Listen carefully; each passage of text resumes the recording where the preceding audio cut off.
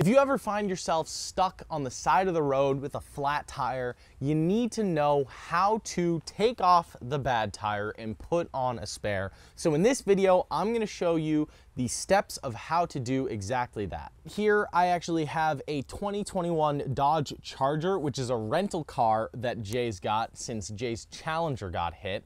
Um, so I'm gonna show you specifically where the spare tire is, where the jack and the lug wrench are on this car, but it'll be very similar for all cars of where all those things are and how to do this. So the first step, we gotta go to the trunk. There's gonna be a small button hidden next to the E for you to open the trunk of your Dodge Charger if you have that, or otherwise you might have a button up on the dashboard or might just have a latch right here. Inside, you'll be able to see that there's nothing here. The spare tire is gonna be hidden under a little uh, platform.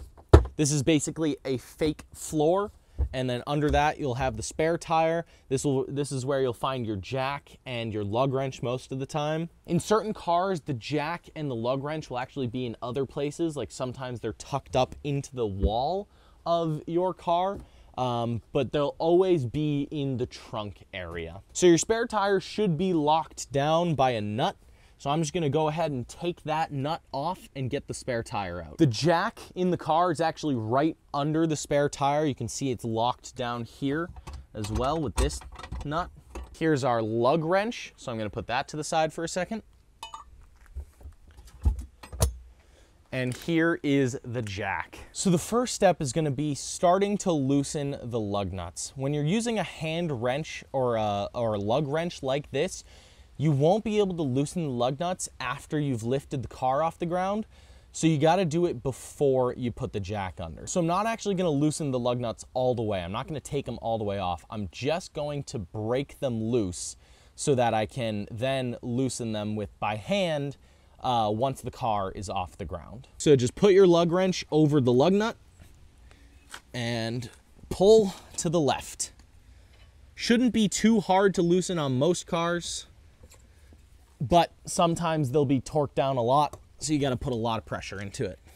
And now that I've broken down all five, I'm gonna get the jack and we're gonna lift up the car. Most cars will have a jack inside of them that looks like this. It's a little funky shaped and you might not know exactly how it works immediately, but basically this bolt all that goes all the way through is going to raise and lower the top part here. So if I twist it to the left, it's gonna lower the jack. And if I twist it to the right, it'll raise it. Most modern cars have a pinch weld instead of a frame. A pinch weld is basically a thin piece of metal that runs along the entire side of the car and that's where you're going to want to put the jack. The pinch weld is the lifting point. Now a lot of trucks and larger cars and a lot of older cars will have frames and you want to get the jack under the frame but I'll show you the pinch weld right now on this car right here. A lot of cars will also actually have an arrow on the side of the car pointing to where the lifting point is. So like I said, the pinch weld runs along the entire edge of the car, but right here specifically is where the car wants you to put the jack. So now I'll slide the jack in under the car and line it up with that lifting point and then I'll twist this nut to the right until it's touching the pinch weld. Now at this point, it'll become really difficult to spin this because obviously we're picking up the weight of the car. So this is where your lug wrench is gonna come into play again. So there's actually a couple different ways that the lug wrench will work with your jack. In this instance, there's a nut on the end that's the same size as the socket on the lug wrench. So we can actually just put this on there and spin it. So now I'm just gonna put the socket on the nut and begin to spin this to lift the car off the ground.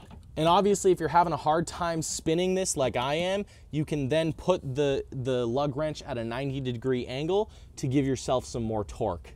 But then you just gotta avoid the ground that way. So now that the tire's off the ground, we need to take all of the lug nuts off the wheel. So we started loosening them before, but now we gotta pull them all the way off. The best way to do this is going to be taking your lug nut wrench and putting it in a straight line like this, because then you can put it on and just twist this off really quickly. Now, as you're taking the lug nuts off, you wanna be very careful to not lose these. So if you're, like I said, if you're on the side of the road, be careful, make sure you maybe put them in your pocket or put them in your car, but make sure you do not lose these because you need them to put the spare tire back on. Now you're gonna be able to pull the wheel off of the car. Now, be careful with this. Sometimes these wheels can be pretty heavy, um, so you don't wanna drop it or, you know, get stuck on it or anything like that. So just be careful when you're pulling it off. But you can pull it off, and now you can put this to the side. Some cars will have a full spare, which will look exactly like your normal tires. And some cars, this is more common nowadays, will have what's called a donut. So this is not a full spare, and this is not great to drive on for long distances. They say you should only drive on this for about 50 miles. Um, basically, this is just to get you home off the highway or off the road, wherever you are, until you can get your car to a tire shop. The only thing you gotta note here is the five studs on the car. You gotta line those up with the five holes on the tire and just slide it on. Now we'll grab our lug nuts again and we'll start to thread these on. So now I've put all these lug nuts on finger tight and I'm gonna get my lug wrench here again. So we're just gonna tighten them a little bit, then we'll put it down and then we'll tighten them finally. And now as you're tightening the lug nuts, you wanna make sure that you tighten these in a star cross pattern. This will help you torque down the lug nuts evenly and distribute the pressure among all of the bolts and prevent you from ruining any of the bolts or the lug nuts. So like I said, from here, you would wanna put the jack back down and that's the same thing as putting it up, just twisting to the left instead of to the right and uh, finish tightening up these lug nuts. You can tighten them down pretty hard with this lug wrench because uh, you want to make sure that that is securely on there to make sure you get home safe. Obviously, you want to make sure that you put all your tools back into your car and get your flat tire and make sure that's in there as well. But other than that, you're gonna be all set to go get your tire repaired. So that's gonna be it for this video. If you found this video helpful, make sure to hit the like button and definitely subscribe if you're not because we have a ton of really great, helpful tutorial content about general maintenance for your cars, certain repairs like changing a spare tire and all sorts of stuff like that. So make sure you subscribe if you're not. And while you're down there next to that subscribe button, you'll see a blue join button. So you can go ahead and click on that to learn more about our membership programs. We've got a lot of really cool, really fun stuff, lots of benefits for you guys down there. Uh, so make sure you check that out. If you don't know, that is basically a paid subscription to our channel. That'll provide you with a bunch of really fun benefits and really cool stuff. So make sure you check that out. And uh, that's gonna be it for this video. So thank you for watching, and I hope this helped.